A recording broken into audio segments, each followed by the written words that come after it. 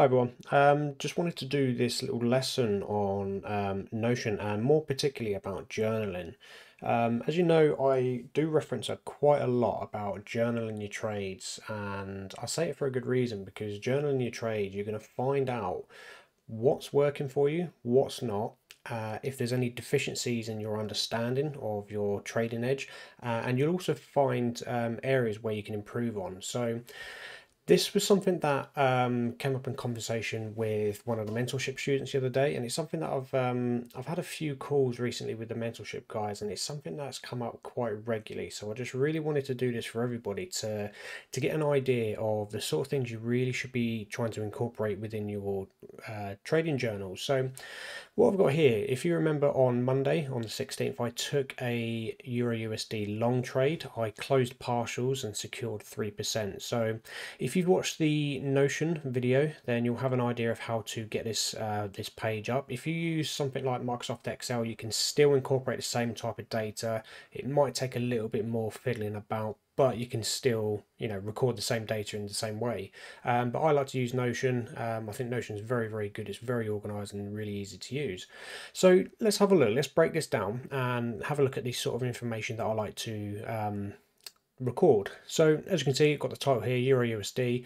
Uh, the status of the trade was a win. Um, even though the remainder hit break even, it's still a win because I managed to bank some uh, profit from this. Um, we've selected the pair Euro USD and this, as you know, if you've watched the Notion video, uh, you'll know this helps us filter out the, the different trade pairs um, within the main screen. Um, so we put in their position, it was a long trade. Uh, the trade was opened on the 16th and the trade so even though it was uh, the remaining 20% volume actually closed the following day. The actual profit was secured on the same day. Uh, so yeah, trade was open on the 16th. Uh, the session was the London session. Um, I secured 3%. And um, so if you imagine, I didn't quite close out at 4R uh, or 4% because by the time I managed to open up MT4 and close partial trades, it retraced a little bit. Uh, then the you know 80% close worked out around about 3%. So the confluences for the trade, I've just selected the confluences. So we have breaker structures, liquidity inducement candle, higher time frame continuation, liquidity grabs. Um, and then the stop loss size, uh, I used 8 pips for this stop loss. So I'm just going to give a quick overview and as you can see there's there's a fair amount of data um, in here uh, why is it scrolling down? So this is everything I've recorded for this particular trade and we're going to go through why I've included certain information. Now, one of the things that I um, spoke to you about with one of the guys on the mentorship course, uh, on the mentorship um, section was um, when I was looking at screenshots, I asked him, do you remember this particular trade? That particular trade, uh, I asked him about, he said, yes, I do remember this uh, particular trade. I then explained to him, do you remember a trade that you took over a month ago? And they said no.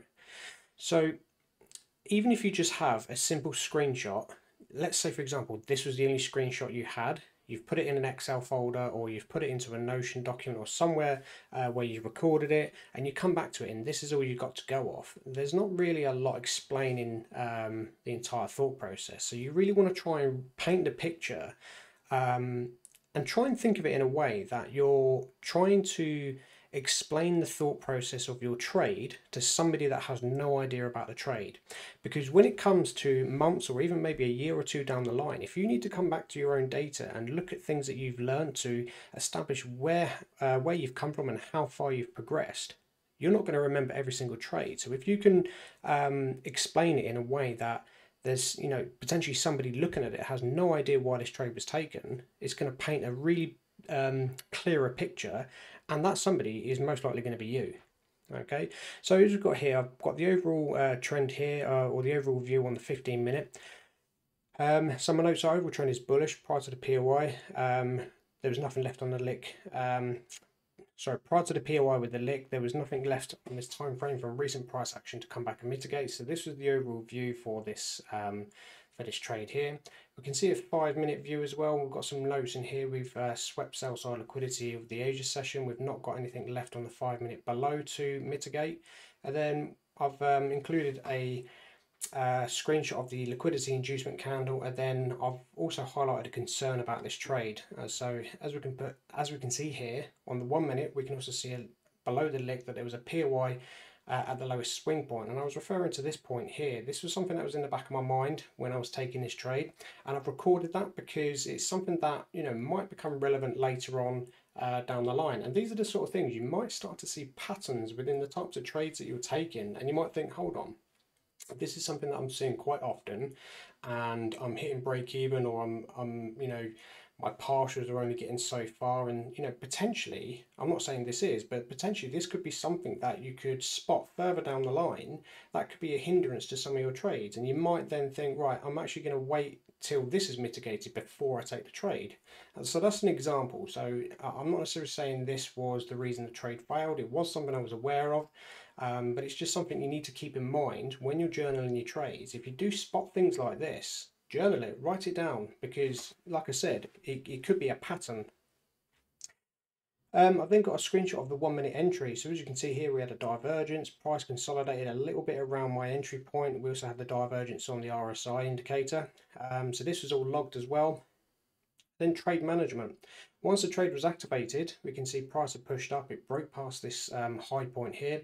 And this is where I've got stops to break even. And I've wrote this down as well, because again, if you're coming back to this a little while, you know, in the future, months or even years down the line, and you've not got this on a screenshot and you've not written it down, you might not understand why you've um, closed, uh, or sorry, why you've set stops to break even at a certain point, because you, you need a visual reminder of what was going on with this trade setup. Um, and again, if we go further down, um, I've then highlighted in trade management where I've then closed partials. So it was around this point here is where I've closed the partials. And as you can see, um, I've also put in there how long later it took to um, to get to that point. So it was roughly an hour later after the price, uh, sorry, after the trade was opened, um, price had reached just shy of 4R. Uh, and, you know, and the markets were slowing down at this point and that's what influenced me to take partials and just leave the rest to run. Um, and as you can see then I've got the full trade closure. So you know moving forward a little bit further I've then mentioned that um, the following day the remaining 20% was then taken out of break even and I'm absolutely fine with that. Now one key thing that um, I don't think many people are really incorporating into their journaling is their psychology and any learning points um, about that particular trade so in the psychology, you can see here, I, put, I felt happy about this setup. Everything felt right. I kept an eye on the one minute zone below the entry point, uh, but this didn't sway my judgment as I was fully aware of how bullish the higher time frame is. So if you remember from the, the forecast for this trade uh, and the outlook and everything, um, can, we could see that, you know, Euro USD was very, very bullish and I was just looking to capitalize on that um, higher time frame trend.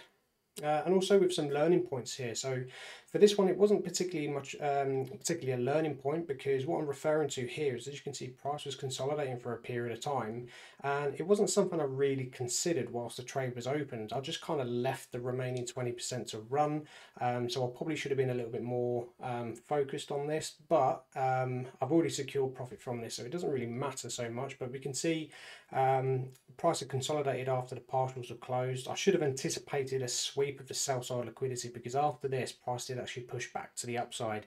Um, so, you know, when we see a consolidation, if we see a sweep of buy side liquidity, it usually means price is going to push down. Uh, then vice versa, if we see a sweep of sell side liquidity, then we may see price pushed back to the upside. Um, but again, with um, learning points, I've, I've also mentioned that with the setup, I could have used a slightly smaller stop loss. Um, I'm not too bothered about the fact that I didn't, but if you look at how much, um, there was barely any drawdown with this trade, and if you look at the wider picture, I come up to here, we can see, you know, there wasn't really much below this point for price to come and mitigate. So, you know, maybe obviously I use an eight pip stop, so maybe a six or a five pip stop loss would have been fine, but I'm not worrying too much about that because I don't want to get too greedy within the markets. Um, and again, you know, I'll put this here, would take this setup again. So if this trade um, setup came about again in the future, I'll definitely take it. Was, there wasn't really anything wrong with the trade setup in my um, view. I took 3%, the rest hit break even. Not too bothered, I paid myself. So that's the main thing that really matters. So guys, try and incorporate as much detail as you can with your journaling. Um, take some inspiration from this because the more you're able to journal, the more you're able to remind yourself in the future why you've taken certain trades. And the more detail you can, you know, include, the clearer things are going to become. And it's going to really, really help accelerate your learning process and even just your um, trading experience in general. So Guys, hope you found some value with this. Um, if you have any questions, as usual, please feel free to let me know.